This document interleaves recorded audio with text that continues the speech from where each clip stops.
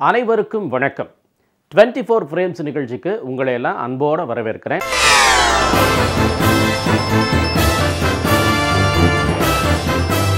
இந்த நிகழ்ச்சியில் திரையுலகத்தில் ஆளுமையாக விளங்கிய பல கலைஞர்களின் வாழ்க்கை வரலாற்று நிகழ்வுகளை நமக்கு தெரியாத அவங்களுடைய பல பக்கங்களை வந்து நாம் தெரிஞ்சுக்கிட்டு இருக்கிறோம்.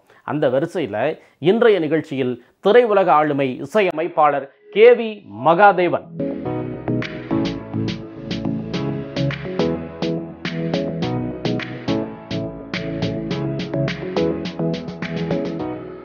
கன்னியாகுமரி மாவட்டத்தில் நாகர்கோவிலை அடுத்து இருக்கக்கூடிய கிருஷ்ணன் கோவில் கிராமத்தில் வசித்த வெங்கடாச்சல பாகவதர் பிச்சையம்மாள் தம்பதிக்கு மகனாக ஆயிரத்து தொள்ளாயிரத்து பதினெட்டாம் ஆண்டு மார்ச் மாதம் பதினான்காம் தேதி பிறந்தவர் தான் K V Mahadevan. K V மகாதேவனின் தாத்தா ராம பாகவதர் அந்த நாள்லேயே திருவிதாங்கூர் சமஸ்தானத்தில் ஆஸ்தான வித்வானா இருந்தவர். அவருடைய தந்தை அதாவது கே வி மகாதேவனின் தந்தை வெங்கடாச்சலமும் புகழ்பெற்ற பாகவதர். இசைக்கலை இவங்களுடைய குடும்ப சொத்து அதனாலேயே சிறு வயதிலேயே இசை அவருக்குள்ளேயும் வந்துருச்சு. இசை மீது மகனுக்கு இருந்த ஆர்வம் காரணமாக தந்தையே முதல் குருவாக இருந்து ஆரம்ப படத்தை கற்றுக் கொடுத்தார். வடசேரியில் இருந்த எஸ்எம்ஆர்வி உயர்நிலை பள்ளிக்கூடத்தில் சேர்க்கப்பட்ட மகாதேவன் சங்கீதம் படிக்கிறதுக்காக பூதப்பாண்டி கிராமத்தில் வசித்து வந்த அருணாச்சல கவிராயர் அப்படின்றவர்கிட்ட போனார். வாய்ப்பாட்டை தவிர நாதஸ்வரம் தவில் பம்பை முரசு புல்லாங்குழல் ஹார்மோனியம் மோர்சிங் ஜலதரங்கம் வீணை வயலின் கொன்னக்கோல் கோட்டு வாத்தியம் இதையெல்லாம் கற்றுக்கிட்ட மகாதேவன். சின்ன வயசுலேயே மேடை ஏறி கச்சேரி செய்யக்கூடிய அளவுக்கு இசை ஞானத்தை வளர்த்துக்கிட்டார். பாட்டு மகாதேவனை ஈர்த்த அளவுக்கு படிப்பு அவரை ஈர்க்கலை. இந்த நிலைமையில் ஒரு நாள் சென்னையிலிருந்து வந்த பாலகந்தர்வ கானசபா அப்படிங்கக்கூடிய ஒரு நாடக குழுவினர் பூதப்பாண்டி அருணாச்சல கவிராயரை தொடர்பு கொண்டு நல்லா பாட தெரிஞ்ச யாராவது இருந்தால் நாடக கம்பெனியில் சேர்த்துக்கிறதா ஆர்வமாக இருக்கும் அப்படின்னு சொன்னோடனே அவருக்கு மகாதேவனுடைய நினைவு வந்துருச்சு. உடனே மகாதேவனின் முகவரியை கொடுத்துருக்கிறார். நாடக கம்பெனியில் சேர்ந்து சென்னைக்கு போனால் நல்லா முன்னுக்கு வரலாம். ஒரு தியாகராஜ பாகவதர் மாதிரி நாமளும் நன்னா பெரிய லெவலில் வரலாம் அப்படின்ட்டு பதினான்கு வயது மகாதேவனின் மனசுக்குள்ள கற்பனை சிறகடிச்சு பறக்க ஆரம்பிச்சது. அதே சமயம் வீட்லேயோ மூத்த மகனை அப்படி அனுப்ப மனசு இல்லை ஆனால் மகாதேவன் மனசுலையோ நாடக கம்பெனியில் சேரணும் அப்படிங்கக்கூடிய எண்ணம் அழுத்தமாக பதிஞ்சிருச்சு. பெற்றோருக்கு சமாதானம் எல்லாம் சொல்லி அவங்கள சம்மதிக்கவும் வச்சுட்டார். சென்னை வந்த மகாதேவனுக்கு பாலகந்தர்வ நாடக சபா நாடக குழு நடத்தின நாடகத்தில் நடிக்கக்கூடிய வாய்ப்பு கிடைச்சிது. இசைஞானம் நிரம்ப பெற்ற மகாதேவனின் சாரீர வளம் அவருடைய திறமையை வெளிப்படுத்த உதவுச்சு. ஆனாலும் நாடகத்துக்கு வசூல் இல்லை அப்படின்னு தினமும் சாப்பிட்றதுக்கே எல்லாரும் கஷ்டப்பட்டுருக்குறாங்க. ஒரு கட்டத்தில் நம்பி வந்த நாடக கம்பெனி நஷ்டத்தில் இழுத்து மூடப்பட்டதும் ஊருக்கு திரும்புறதுக்கும் மனசு இல்லாமல் வடசென்னையில் வால்டாக்ஸ் ரோட்டின் கடைசியில் இருந்த யானை கவுனியில் ஒரு ஹோட்டலில் வேலைக்கு சேர்ந்துட்டாரு மகாதேவன். நடிக்க வந்த மகாதேவனுக்கு ஹோட்டலில் சார் சாப்பிட்டது ரெண்டு தோசை ஒரு காப்பி ரெண்டரனா அப்படின்னு அறிவிக்கக்கூடிய சர்வர் வேலை கிடச்சிது. ஹோட்டலில் வேலை பார்த்துக்கிட்டே நாடகங்களை நடிக்கவும் வாசிக்கவும் முயற்சி செஞ்சார். பெருசாக வாய்ப்பெல்லாம் கிடைக்கல அப்படின்னாலும் சின்ன சின்ன வாய்ப்புகள் அப்பப்போ ஒற்றவாட தேட்டரில் கிடச்சிது. அப்படியே நாலு வருஷம் ஓடிடுச்சு.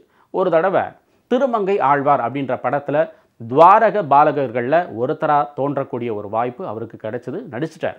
பாய்ஸ் நாடக கம்பெனி போலவே ஸ்பெஷல் நாடக கம்பெனிகளும் இயங்கிட்டு தான் இருந்தது. அதாவது மிக பிரபலமான நாடக நடிகர் நடிகைகள் தங்களுக்கு அப்படின்னு சொல்லிட்டு ஒரு தனி குழுவை அமைச்சுக்கிட்டு நடத்தக்கூடிய நாடகங்கள்.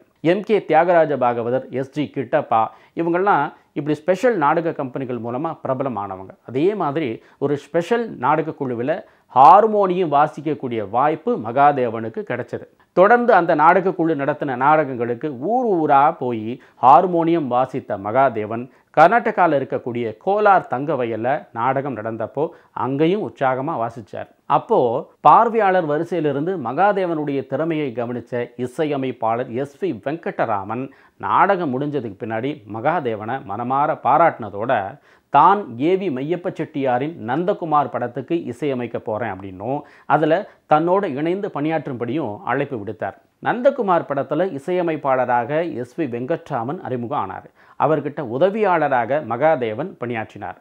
முதல் முறையாக டிஆர் மகாலிங்கம் டிஆர் ராமச்சந்திரன் நடித்த அந்த படத்தில் முதல் முறையாக பின்னணி பாடக்கூடிய முறையை அறிமுகம் செய்யப்பட்டு அதில் முதல் முறையாக பின்னணி பாடினார் லலிதா வெங்கட்ராமன். நந்தகுமார் படம் வந்து எதிர்பார்த்த வரவேற்பை பெறல. அடுத்தடுத்து வந்த படங்களின் தோல்வி கருத்து வேறுபாடுகளால் ஏவிஎம் நிறுவனத்தை விட்டு எஸ்பி வெங்கட்ராமன் வெளியேறிட்டார். இதனால் டிஓ சுப்பாராவ் அப்படிங்கக்கூடிய இசை அமைப்பாளர்கிட்ட சேர்ந்து அவர்கிட்ட கொஞ்ச காலம் வேலை பார்த்த மகாதேவன் அதுக்கு பின்னாடி டிஏ கல்யாணத்துக்கிட்ட வந்து சேர்ந்துட்டார். சேலம் மாடர்ன் தியேட்டர்ஸ் நிறுவனத்தில் இசை அமைப்பாளராக டிஏ கல்யாணம் பணியாற்றினார். அங்கே மனோன்மொழி படம் உருவானப்போ அந்த படத்துக்கு இசையமைத்த டிஏ கல்யாணம் மகாதேவன்ட்ட நீ ஒரு பாட்டுக்கு டியூன் போடு அப்படின்னு சொல்லியிருக்கிறார். தனக்கு கிடைச்ச அந்த வாய்ப்பை பயன்படுத்திக்கிட்டு மோகனாங்க வதனி அப்படின்னு துவங்கக்கூடிய பாபநாசம் ராஜகோபால் ஐயரின் பாடலுக்கு கேவி மகாதேவன் இசையமைச்சிட்டார். அந்த பாடலை கேட்ட கதாநாயகன் பி யு சின்னப்பா கேவி மகாதேவனை அழைச்சி பாராட்டினதோட அந்த பாடலை உணர்ச்சி பொங்கக்கூடிய குரலில் பாடி நடித்தார் டிஏ கல்யாணம் இசையமைத்த அந்த படத்தில் உதவியாளராக இருந்து ஒரு பாடலுக்கு மட்டும் இசையமைத்து ஒரு இசையமைப்பாளராக கே வி மகாதேவன் அறிமுகமான ஆண்டு ஆயிரத்து தொள்ளாயிரத்து நாற்பத்து இரண்டாம் ஆண்டு. அதுக்கு பின்னாடி டிஏ கல்யாணத்தோட சேர்ந்து மாயஜோதி சிவலிங்க சாட்சி போன்ற மாடர்ன் தியேட்டர்ஸ் தயாரித்த படங்களுக்கு பணியாற்றிய K. We. Mahadevan G. Ramanathan இசையமைத்த ஆனந்தன் அல்லது அக்னி புராண மகிமை அப்படின்ற படத்துக்கும் இசையமைச்சார். அதுக்கு பின்னாடி எழுத்தாளர் பி எஸ் ராமையா இயக்கிய தன அமராவதி படத்துக்கு தனியாக இசையமைச்சார் கேவி மகாதேவன். அந்த படத்தில் நகைச்சுவை வேஷத்தில் அறிமுகமான ஜேபி சந்திரபாபுவை உன் அழகிற்கு இணை என்ன சொல்வது என்ற பாடலை பாட வச்சார். அந்த படத்தில் நடித்த பி எஸ் சரோஜாவுக்காக வைக்கம் சரஸ்வதி அப்படின்ற பாடகியை பின்னணி பாட வச்சார். அடுத்து இசையமைத்த தேவதாசி படம் அவருக்கு நல்ல பெயரை பெற்றுத்தந்தது ஆயிரத்தி தொள்ளாயிரத்து ஐம்பத்தி இரண்டாம் ஆண்டு ஆர். பத்மநாபன் தயாரித்து இயக்கிய குமாரி படத்துக்கு இசையமைத்து அதில் இடம்பெற்ற ஆணுக்கு பெண் வேணுமே அப்படின்ற பாடலையும் பாடியிருந்த மகாதேவன் இரண்டு பாடல்களை பாட வைத்து ஏ. எம். ராஜாவை பாடகராக அறிமுகம் பண்ணி வச்சார். கதாநாயகனாக எம்ஜிஆரும் அவருக்கு ஜோடியாக ஸ்ரீரஞ்சனியும் குமாரி படத்தில் நடிக்க மகாராணியாக மாதுரி தேவியும் அவருடைய தம்பியாக டிஎஸ் துரைராஜும் நடித்தாங்க எம்எல் பதி இயக்கத்தில் மதன மோகினி அப்படின்ற படத்துக்கு இசையமைச்சார் K V Mahadevan. Narasimha Bharathi C R Rajakumar நடித்த இந்த படத்துக்கு இசை அமைக்கிறப்போ ஒரு டூயட் பாடலை பாட பி லீலா வந்து பாடல் பதிவுக்கெல்லாம் வந்துட்டாங்க. ஆனால் பாட வர வேண்டிய ஆண் பாடகர் வரவே இல்லை. அதனால் கேவி மகாதேவனை பி லீலாவோட இணைந்து பாடிட்டார். இந்த ஒரு பாடல் அப்படின்னு இல்லை படத்தில் கதாநாயகனுக்கான மூன்று பாடல்களையுமே கேவி மகாதேவனையே பாடிட்டார். சண்முக பிரியா ராகத்தில் அமைக்கப்பட்ட கண்ணோடு கண்ணால் ரகசியம் பேசி அப்படின்னு தொடங்கக்கூடிய பாடலில் கேவி மகாதேவனின் குரல் இனிமை கேட்கிறவங்களெல்லாம் பிரமிக்க வச்சுச்சு. அது மட்டும் இல்லாமல் நடிகை மாதிரி தேவி தயாரித்து நடித்த ரோகிணி ஏபி நாகராஜன் கதை எழுதி நடித்த நால்வர் மாங்கல்யம் எம் கே ராதா நடித்த நல்ல காலம் எம்ஜிஆர் சிவாஜி நடித்த கூண்டுக்களி. இப்படி பல படங்கள் வந்தாலும் அடுத்த வெற்றி படமாக எம்ஏ வேணு தயாரித்த டவுன் பஸ் படம் ஆயிரத்து தொள்ளாயிரத்து ஐம்பத்து ஐந்தில் வெளிவந்தது. கண்ணப்பா அஞ்சலி தேவி ஜோடியாக நடித்த அந்த படத்தில் கேவி மகாதேவனின் இசை அமைப்பில் இடம்பெற்ற இனிமையான பாடல்கள் அந்த படத்தின் வெற்றிக்கு உதவுச்சு. அதில் எம்எஸ் ராஜேஸ்வரி பாடின சிட்டுக்குருவி சிட்டுக்குருவி செய்தி தெரியுமா அப்படின்ற பாடல் பெரிய புகழ்பெற்ற பாடல். அந்த பாடலுக்கு மிக குறைந்த இசைக்கருவிகளை கொண்டு அவர் இசையமைத்திருந்தார். அதுக்கு பின்னாடி எம்ஜிஆர் நடித்த தாய்க்கு பின் தாரம் படத்தில் ஏ மருதகாசி எழுதின மனுஷனை மனுஷன் சாப்பிடுறாண்டா தம்பி பயலை அப்படின்ற பாடல் கேவி மகாதேவனை இன்னும் உயர்த்தி அழகு பார்த்துச்சு. அடுத்து வந்த முதலாளி படத்தில் இடம்பெற்ற ஏரிக்கரையின் மேலே போறவளே பெண்மையிலே பாடல் திக்கெட்டும் பரவுச்சு. மக்களை பெற்ற மகராசி படத்தில் டி எம் சவுந்தரராஜன் பாடின மணப்பாறை மாடு கட்டி போறவளே போறவளே பொன்னுரங்கம் நடிகை பானுமதி பாடின சொன்ன பேச்சை கேட்கணும் சீனிவாஸ் பாடின ஒன்று சேர்ந்த அன்பு மாறுமா பட்டுக்கோட்டை கல்யாண சுந்தரம் எழுதின ஓ மயிலக்கா இப்படி எல்லா பாடல்களும் புகழ்பெற்ற பாடல்களாக கேட்க கேட்க திகட்டாத மண்மணம் கமழக்கூடிய பாடல்களாக அமைஞ்சுது. நல்ல இடத்து சம்பந்தம் படிக்காத மேதை சாரதா இருவர் உள்ளம் வானம்பாடி திருவிளையாடல் இதய கமலம் தில்லானா மோகனாம்பாள் சரஸ்வதி சபதம் கந்தன் கருணை திருவருட்செல்வர் திருமால் பெருமை சங்கராபரணம் சம்பூர்ண ராமாயணம் அடிமை பெண் வசந்த மாளிகை குலமா குணமா கண்கண்ட தெய்வம் கைதி கண்ணாயிரம் அன்னை இல்லம் விளையாட்டு பிள்ளை இப்படி பல படங்களின் மகத்தான வெற்றிக்கு கே வி மகாதேவனின் இசையமைப்பும் முக்கிய காரணம் அப்படின்னா அது மிகையாகாது. இவருடைய இசையில் எத்தனை எத்தனை பாடல்கள் காலம் கடந்து காற்றின் பெருவழிக்கு கௌரவம் சேர்த்துருக்கு தெரியுமா? மிஸ்ர யமன் ராகத்தில் நிலவோடு வான்முகில் விளையாடுதே அரபி ராகத்தில் ஏரிக்கரையின் மேலே போறவளே பெண்மையிலே மோகன ராகத்தில் மலர்கள் நனைந்தன பனியாலே கல்யாணி ராகத்தில் மன்னவன் வந்தானடி அப்படின்னு ஒரு பாட்டு. பீம்ப்ளாஸ் ராகத்தில் கோமாதா எங்கள் குலமாதா அப்படின்ட்டு ராகங்களுக்கு இவர் செய்த ஆராதனையின் பட்டியல் அடங்க மறுக்கும். சுத்தமான கர்நாடக இசையில் பாடல்கள் அமைச்சோம் அப்படின்னா இது என்ன பாகவதர் காலமா? அப்படின்னு கேலிக்கும் கிண்டலுக்கும் ஆளான நேரத்தில் செந்தேனாக கர்நாடக இசையை திரை இசையில் குழைத்து தந்தவர்தான் திரை இசை திலகம் அப்படின்னு அனைவராலும் முடிசூட்டப்பட்ட கே வி மகாதேவன். ஆயிரத்து தொள்ளாயிரத்து அறுபத்து ஐந்தில் அவரது இசை அமைப்பில் வெளிவந்த திருவிளையாட அந்த படத்தில் இடம்பெற்ற ஞான படத்தை பொழிந்து அப்படின்ற பாடலை மறக்க முடியுமா?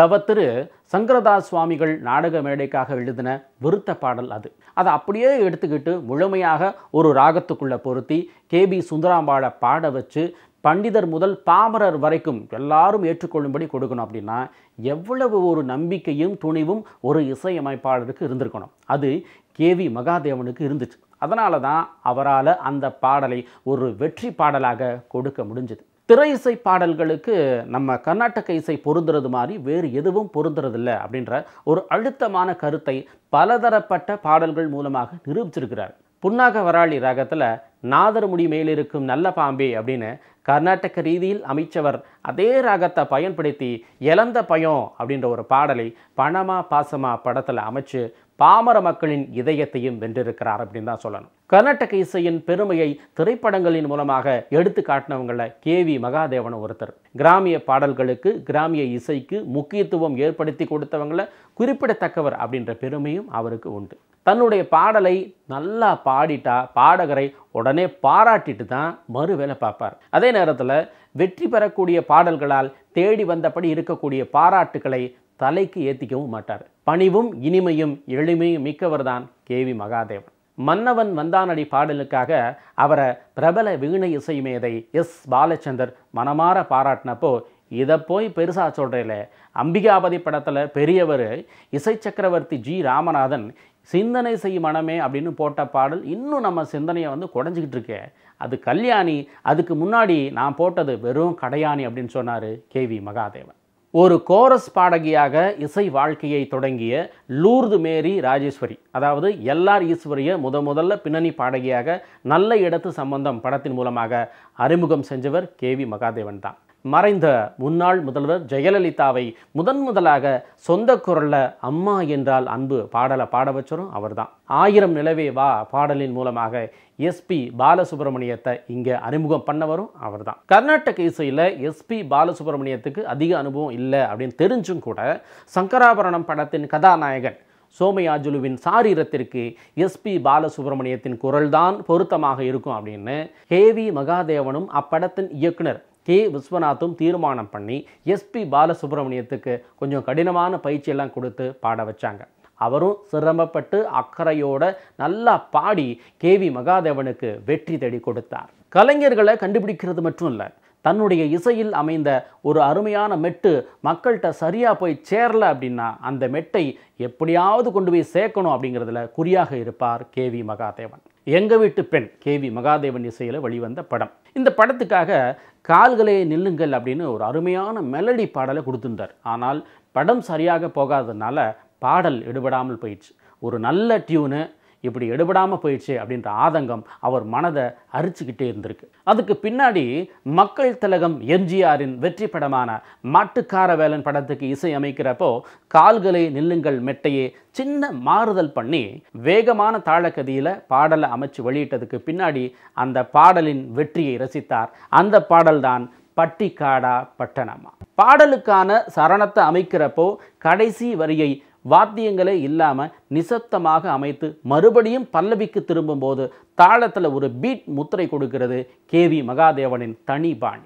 எந்த பாடலிலையும் சரணத்தின் கடைசி வரி பாடலின் மையக்கருத்தை அமையும். அந்த மையக்கருத்தை இப்படிப்பட்ட தாள மற்றும் மௌன இடைவெளியோடு அமைக்கிறப்போ அழுத்தம் திருத்தமாக மக்கள் மனசில் பதிய வைக்க முடியும். உதாரணமாக வசந்த மாளிகை படத்தில் வரக்கூடிய மயக்கம் என்ன பாடலின் இறுதி சரணத்தில் வரக்கூடிய கடைசி வரிகள் இப்படி இருக்கும். உன் உள்ளம் இருப்பது என்னிடமே அதை உயிர் போனாலும் தரமாட்டேன்.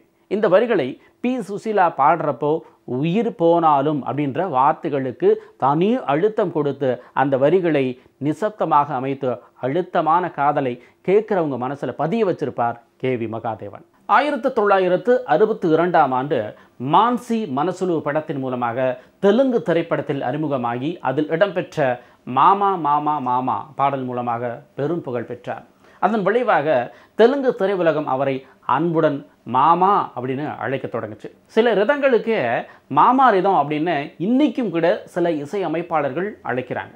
அந்த அளவுக்கு அவருடைய ரிதம் புகழ் பெற்றது தெலுங்கு மொழியில் அதிக படங்களுக்கு இசை அமைத்திருக்கக்கூடிய கே வி மகாதேவன் தமிழ் தெலுங்கு மலையாளம் கன்னடம் ஆகிய நான்கு மொழிகளையும் அறுநூறுக்கும் மேற்பட்ட படங்களுக்கு இசையமைச்சிருக்கிறார் ஆரம்பத்தில் ஐந்து படங்களில் ஒன்பது பாடல்களை பாடியிருக்கக்கூடிய கே வி மகாதேவன் திரை இசை அப்படிங்கிறது மனதை சுகமாக வருடக்கூடிய தென்றல் போன்ற உணர்வை தருவது அப்படின்னு சொன்னவர். இசை அமைப்பாளர்களுக்காக தேசிய விருது முதன் முதலாக ஆயிரத்து தொள்ளாயிரத்து அறுபத்தி ஏழாம் ஆண்டு மத்திய அரசால் அறிவிக்கப்பட்டப்போ முதல் வருடமே கந்தன் கருணை படத்துக்காக தேர்ந்தெடுக்கப்பட்டவர் கே வி மகாதேவன்.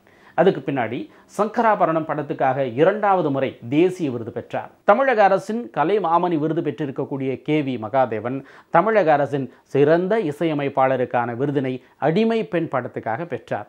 ஆந்திர அரசின் நந்தி விருதை மூன்று தடவை பெற்றிருக்கக்கூடிய கே வி மகாதேவன் திரை இசை திலகம் இசை சக்கரவர்த்தி ஸ்வரபிரம்மம் போன்ற பட்டங்களையும் பெற்றிருக்கிறார். கே வி மகாதேவன் இசையமைத்த பாடல்களையே அவருக்கு ரொம்பவும் பிடிச்ச பாடல் அப்படின்னா தை பிறந்தால் வழி பிறக்கும் படத்தில் சீர்காழி கோவிந்தராஜன் பாடிய அமுதும் தேனும் எதற்கு நீ அருகினில் இருக்கையிலே அப்படின்ற பாடல் தான் கே வி மகாதேவன்ட்ட உதவியாளராக இருந்த டி கே புகழேந்தி அப்படின்றவர் குருதட்சணை உட்பட சில படங்களுக்கு இசையமைச்சிருக்கிறார்.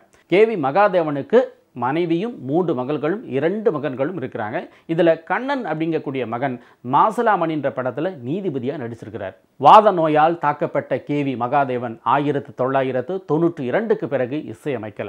திரையுலகத்தினரால் மாமா என்று அழைக்கப்பட்ட கே வி மகாதேவன் இரண்டாயிரத்து ஒன்றாம் ஆண்டு ஜூன் மாதம் இருபத்தொன்றாம் தேதி தன்னுடைய எண்பத்து மூன்றாவது வயதில் காலமாயிட்டார். என்ன நேரலை இன்னைக்கு டுவெண்ட்டி ஃபோர் ஃப்ரேம்ஸ் நிகழ்ச்சியில் இசையமைப்பாளர் கே வி மகாதேவனின் வாழ்க்கை வரலாற்று பக்கங்களிலிருந்து சில பக்கங்களை தெரிஞ்சுக்கிட்டோம்.